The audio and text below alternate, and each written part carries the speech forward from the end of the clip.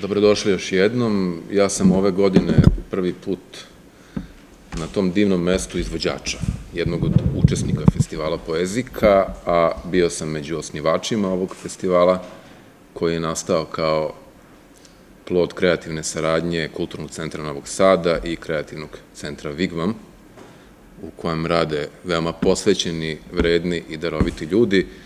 Petu godinu smo zajedno.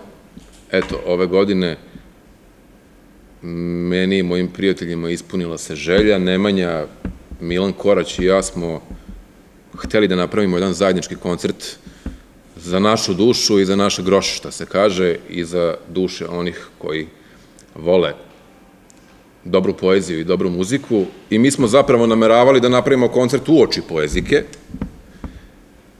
Međutim, sticam lepih okolnosti, ispalo je tako da ćemo mi zapravo nastupiti prve večeri u petak 9. juna.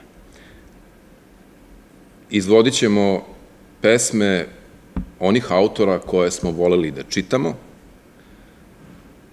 koje smo voleli da pamtimo, da govorimo naizust, mi to radimo na naš način, sva trojica smo kant autori, sva trojica smo frontmeni novosadskih sastava, ali većinu te večeri u petak posvetit ćemo zapravo pesnicima koje volimo. Dakle, stihovima koje su napisali drugi autori, a koje smo mi komponovali.